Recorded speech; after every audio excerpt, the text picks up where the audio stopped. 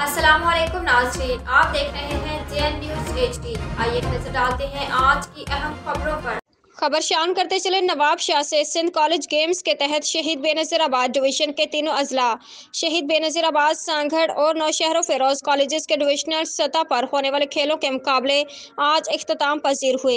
इस सिलसिले में महकमा कॉलेज एजुकेशन शहीद बेनज़ीर आबाद की जानब से अख्तामी तकरीब बिलावल स्पोर्ट्स कम्प्लेक्स नवाब शाह में मुनद की गई, जिसमें कमिश्नर शहीद बेनज़ीर आबाद डिवीज़न अब्दुल अलीम लाशारी ने मेहमान खसूसी के तौर पर शिरकत की।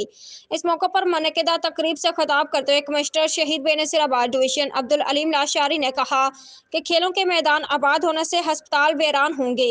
इसलिए नौजवान नस्ल को चाहिए कि वो नसाबी सरगर्मियों के साथ साथ गैर नसाबी सरगर्मियों में बढ़ चढ़कर हिस्सा लें।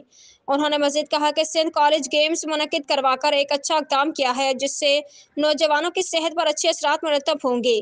इन खेलों को भी फरोख मिलेगा और मजीद के आज के खेलों के शानदार मुकाबले देखकर खुशी हो रही है। जिन बच्चों ने खेलों में हिस्सा लिया है, उनके साथ और मेंटेनर को मुबारकबाद देता हूँ कि उन्होंने इन बच्चों को खेलों के मैदानों में लाकर अपना लोहा मनवाने के बेहतरीन मौके फ्राहम किए।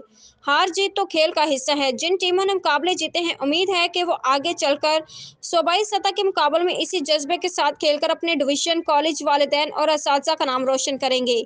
इस मौके पर तकरीब से खिताब करते हुए regional director professor Shahida Taj Abru ने मेहमानों को खुश आमदीद कहते हुए कहा कि सूबाई वज़ीर तालीम सैद सरदार अली शाह की हिदायत पर महकमा कॉलेज एजुकेशन की जानब से ये पाँचवा सिंध गेम्स का मेला सजाया गया है। District reporter J N news Rao Mohammad Afzal, Rajput Nawab Shah.